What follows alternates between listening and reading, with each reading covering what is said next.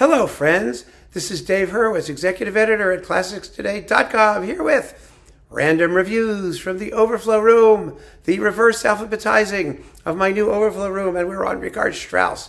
And I, are we ever going to get through Richard Strauss? I, yes, we are. I mean, we definitely are. We're, we are going to get there. It's just going to take a while. Sorry. But oh my God, how much stuff. All right, let's get to it. Here we go we have four last songs with, uh, who's doing this one? Renee Fleming with Eschenbach of the Houston Symphony. A bunch of you have said that you really enjoy this record. You also get orchestral songs and the Rosen Cavalier Suite. And I mean, you know, there's so many excellent recordings of the four last songs. It really just comes down to what singer you like. And that's why I have these, because I'm not sure what singer I like. I like lots of singers doing the four last songs. I just like the four last songs. It's so beautiful, isn't it? Then we've got Minnesota Orchestra with Edo de Waart, God knows why, doing an Alpine Symphony, the Suite for 13 Wind Instruments, Till Eulenspiegel, Don Juan, and the Sinfonia Domestica. These were on Virgin Classics, back when Virgin was scraping around looking for people to do stuff. And this is who they found. Enough said. Renee Fleming does Strauss Heroines with Christoph Eschenbach, Barbara Bonney, and Susan Graham. So you've got uh, Der Rosenkavalier, the Act One monologue, the trio and finale, the Arabella duet from Act One, and Capriccio, the moonlight music, and the closing scene. And Fleming always had a beautiful, creamy, Straussy voice, and she sounds very creamy and Straussy. Yes, lovely. Strauss conducts Strauss. Okay, we've already seen a bunch of these reissued in various ways by various labels, Naxos, APR, God knows who else has them. Everybody does. They're public domain. Anybody can snag them and claim to reissue them. Um, these are on Preiser. These, this is that 1940s Strauss Festival, 1941, you know, in Bavaria, when the Nazis were all marching around and Strauss was conducting his own music with complete disinterest. I mean, really, just not very interesting. But it's Strauss. Oh, yes! Fire Snot. Yo, lovely Fire Snot, this early Strauss opera, Feuersnot. This ridiculous, silly, stupid opera about a wizard who curses a town by putting out all their fire until he can have sex with the mayor's daughter.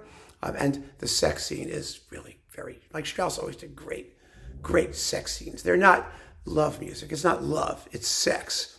It's the act being portrayed. You can really kind of tell. And it's with Julia Varady and Bernd Weikl um, and Heinz Fricke in the, with the Munich Radio, Radio whatever orchestra, radio orchestra on arts music. So it's good to have Fire Snot. It really is. I actually saw it live. You know, um, uh, what's his name? Um, who does orchestra now? Leon Botstein, who can be a really uninteresting conductor, um, did a very, very fine concert version um, with uh, the American Symphony uh, what was it? I don't know, 10 years ago. It was a few years ago at Carnegie Hall, but he, he did it beautifully. And uh, it was, or maybe it was orchestra now, I don't know. But whoever it was, he had really good singers. He conducted it like he was really interested, and it was it was a wonderful concert, really wonderful. Intermezzo, uh, Lucia Popp, Fischer Dieskau, and and like other famous people. Um, Intermezzo was that opera that Strauss wrote about his own life, about an experience he had when his wife thought he was being unfaithful. And it features a composer and a jealous wife. And, you know, they wind up making up in the end. His wife was horrified by this. This is, this is fun to have. There aren't that many recordings of Intermezzo, and this is Sawallisch with Bavarian Radio as part of that. Sawallisch doing all the weird Strauss stuff that he could get his hands on. Then we've got, oh, the Alpine Symphony in Don Juan with Herbert Blomstedt. Didn't we just have that?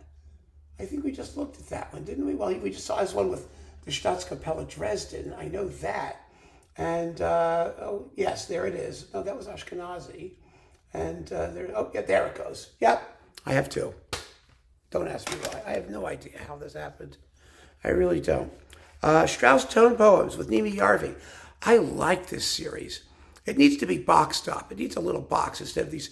It's like in three twofers plus some singleton issues and other things.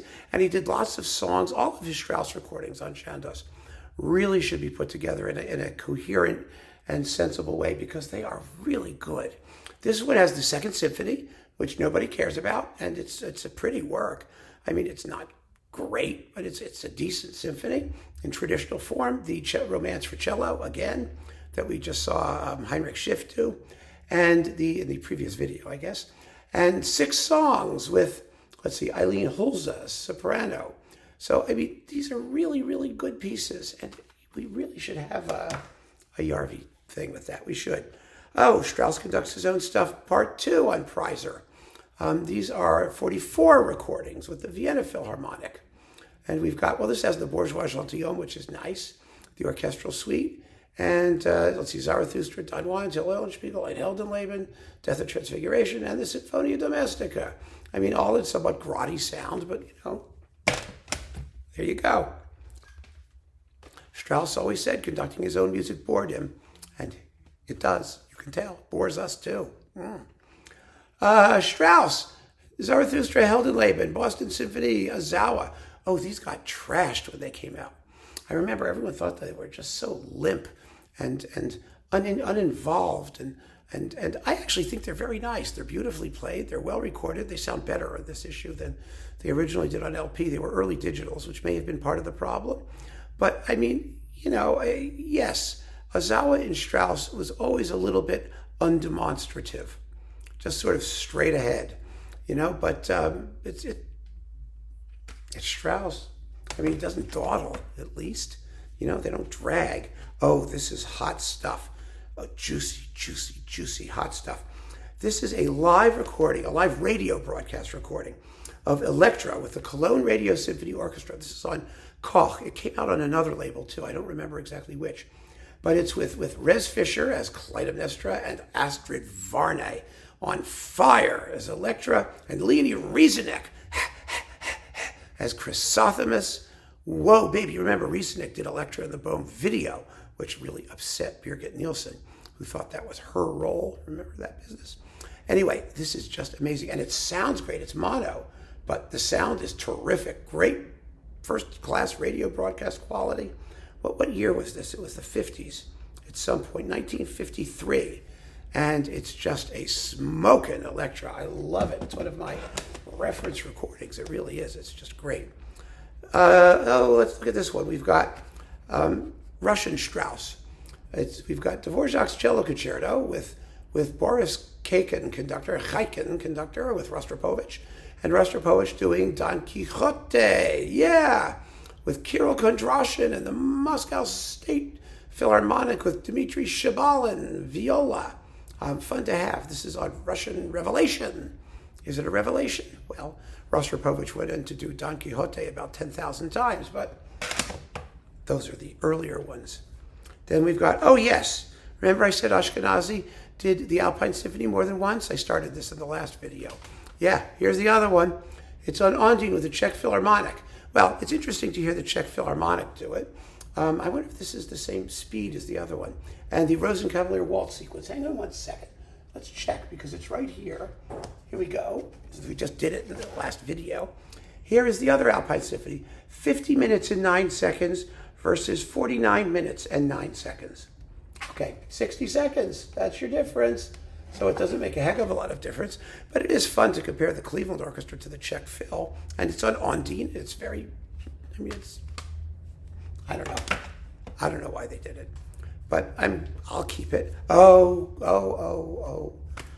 Four last songs with Jessye Norman and Kurt Masur, one of the most iconic records ever, and one of the most magnificent tributes to the human voice that you'll ever hear in your life.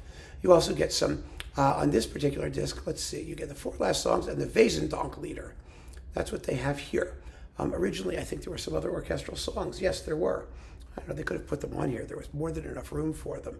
But that's okay. Oh boy, this is just to die for. It's unbelievable. It's really slow.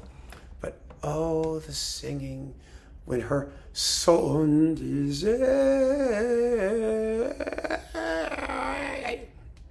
I don't know. She's got enough breath in her. I, it's unbelievable. And we have the Cleveland Orchestra and George Szell on Masterworks Heritage, Don Quixote with Pierre Fournier and Abraham Skernick viola and Rafael Druian violin, along with the horn concerto with Myron Bloom and Don Juan. These are classic Strauss recordings. I mean, fabulously well played. Szell was a Strauss guy. He knew him. He liked him. He plays the crap out of him. What, what more can you ask for? Aus Italien. I, I got this because it's the Slovak Philharmonic and Zdenek Košler, who I always liked. He's a good conductor. And you've got the, the symphonic fragment from Die Liebe der Danae and the Rosenkavalier Waltz Sequence number two on Naxos. Strauss in the Provinces, you might call this. Fun to listen to. It really is. I love Aus Italien. I just, it's so pretty. It really is. I mean, there are better versions of it by like Riccardo Muti several times and whatnot, but I'm not complaining. I'm keeping that one just for the fun of it. Then we've got, oh, oh, Karajan's EMI, Ein Heldenleben, and Wagner, let's see, Flying Dutchman Overture and Parsifal Preludes to Acts 1 and 3. Now, the Wagner stuff on this is terrific. The Strauss Heldenleben, Karajan is so humorless. Oh my God, it's heavy handed and thick and too slow and just totally without joy. I don't know why. Where's the fun? Where's the fun? His DG recording was just the same. And then we've got the Sinfonia Domestica. And let's see, the Prelude to Tristan and Isolde, and the Lohengrin Preludes to Acts 1 and 3. Again, the Wagner's great. The Domestica is really pretty good. It's very good. And he does let the horns rip in the finale, which they absolutely have to do. I mean, I remember the first time I heard it. You know, I played this on, on the radio when I was in college, this performance um, on WJHU in Baltimore. And wow, I mean, I was impressed. And I, I still am, actually. So there we have it, another big pile of Strauss. Wasn't that fun? Keep on listening, friends. Thanks for joining me.